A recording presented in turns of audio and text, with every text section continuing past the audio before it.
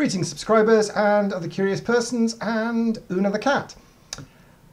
Welcome to another vlog inspired by the Goodreads Tuesday Talks group.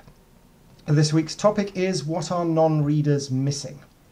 Well, I'm going to start by defining non-readers as people who don't read when it isn't essential.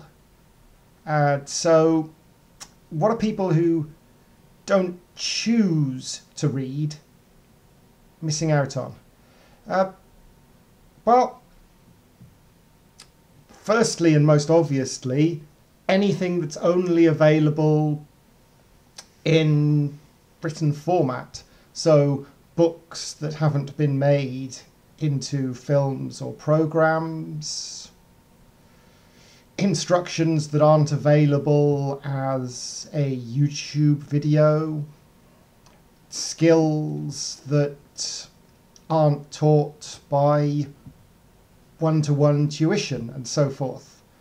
But apart from that, I don't know if they are missing out on anything per se. And that they're gaining a different experience of life. Uh, the book and the film of the same story are almost always notably different. But are they missing out by watching the film and not reading the book? Or are they just experiencing a different life? In the same way that I'm not missing out by not being in Tennessee at the moment, in that I don't know exactly what's going on in Tennessee at this moment. I'm not perceiving it. Even if I get a news feed, I'm not feeling it in the same visceral way as someone who is there. But I missing out? Potentially not. So, what is the difference between experiencing something via reading and experiencing something via another medium? But the conversion process probably is the only thing I can think of that's different in that books you read it your mind converts the written words into sensations in your head.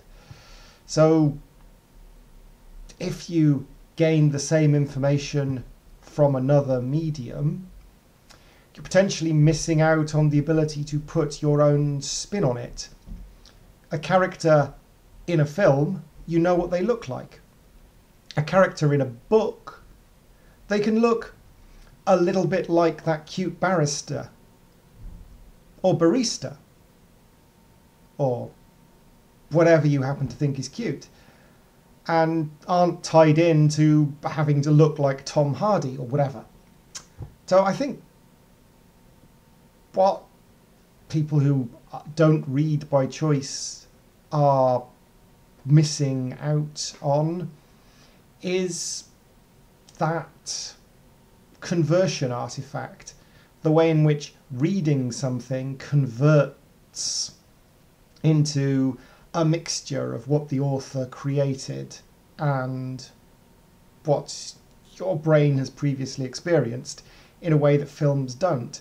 But similarly, you get a similar effect with music. So if you listen to music, you will get images in your head that are half what the composer attempted to create and half what your experiences cause you to do in reaction to a string of sounds. So I don't think readers are missing out in the sense that it's a special, different thing not reading, so much as experiencing a different tranche of reality.